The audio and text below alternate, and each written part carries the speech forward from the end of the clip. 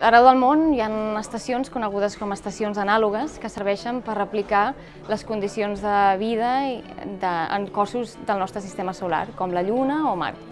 I, I una d'aquestes estacions es coneix com a Mars Desert Research Station, o MDRS, i està al cor del desert de Utah, als Estats Units, i serveix per replicar eh, les condicions del planeta vermell, a Mart. I en aquest sentit, avui he anunciat per primera vegada eh, un projecte que, que transcorrerà el 2023. La missió Hipatia 1 estarà composada per nou dones catalanes, serà una, serà una tripulació interdisciplinar i multigeneracional i l'objectiu principal d'aquesta missió serà fer recerca científica sobre Mart, alhora que també inspirar a noies i nois joves a desenvolupar les seves vocacions científiques.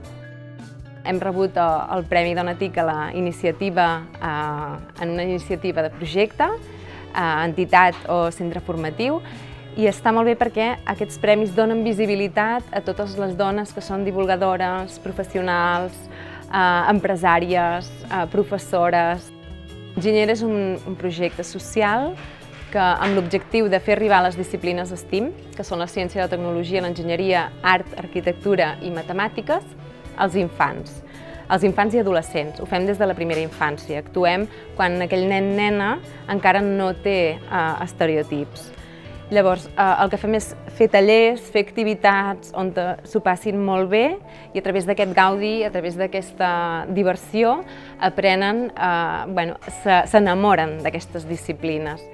No només actuem en l'infant, sinó també en tot el seu entorn, com són les famílies, els equips docents i també el sector empresarial.